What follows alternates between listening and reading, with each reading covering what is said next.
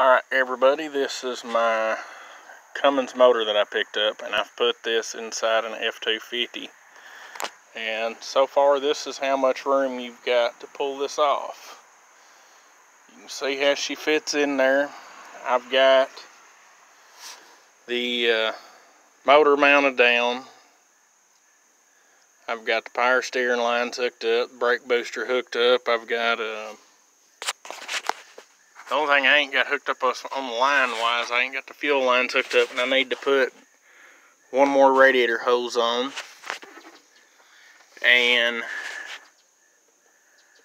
the way this is done, I've got to do it a little bit more engine ingenuity. I got to run it because the plumbing for it is over here on the motor.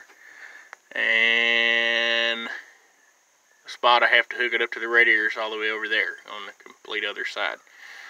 But I actually did get to start it up for just a split second, but it didn't have enough fuel running to it because I ain't got the lines hooked up. It literally started for just a second off what was still in the system. So, um, but that's what it looks like. Um, it looks to me it looks pretty close to factory. I don't know about y'all, but to me it looks pretty well factory, so.